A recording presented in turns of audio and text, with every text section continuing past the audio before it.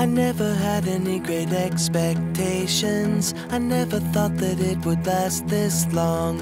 We both know that we're better off as friends.